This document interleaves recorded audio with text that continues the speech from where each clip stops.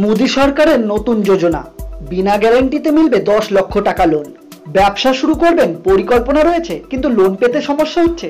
তবে আর চিন্তা নেই, কারণ কি এই মুদ্রা যোজনা? এপ্রিলের দু হাজার পনেরোতে এই যোজনা শুরু করা হয়েছিল। এর মূল উদ্দেশ্য হচ্ছে, এই লোনের জন্য কোনো প্রসেসিং চার্জ দিতে হয় না। লোন ফেরত দেওয়ার সময়সীমা আপনি পাঁচ বছর পাবেন।